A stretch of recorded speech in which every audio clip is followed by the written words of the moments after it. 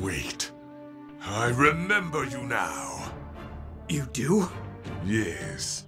You once called me shameless and overdramatic. How dare you, sir? That wasn't me!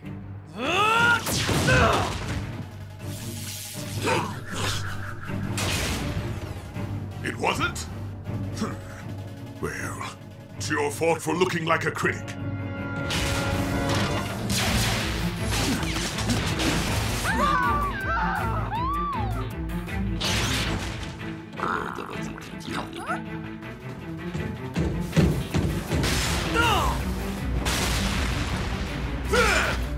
Your face does look familiar, however.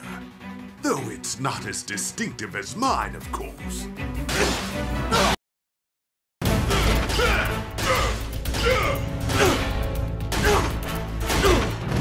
It's no use. I just can't place you. It will bother me. But not every story wraps up cleanly, I suppose. Ah, well. My climactic rendezvous with Optimus awaits. Time to bring down the curtain on you. Hello? Are you not listening? This is quality stagecraft, you savage! I know you Cyclone Minicons are free agents, and you choose who you work with. But this guy completely hogs the spotlight. Want a chance to shine on your own? You dare try to hire away my crew while the show is still running? I promise you two, something much more satisfying than listening to this blowhard blather. Blowhard? That's just... You are interrupting my train of thought with that racket.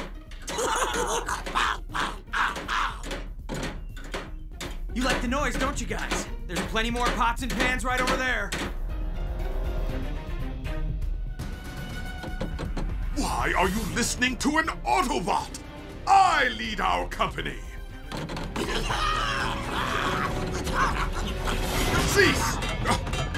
Be gone, you gnat! Security! For so long, I wanted the perfect wrap-up. Where you remember me and I punch your lights out. But you know what? I'll be happy with this. Not the face! Not the face!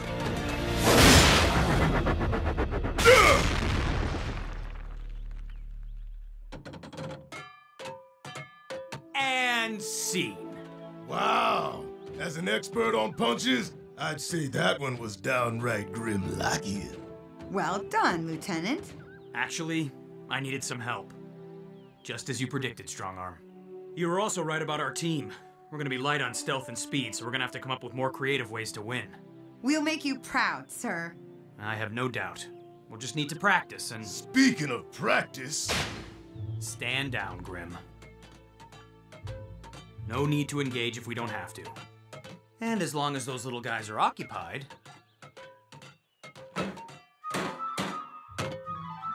That's right. Here we go. We'll march right back to the scrapyard and your stasis pods. Come on, everyone. Join the band.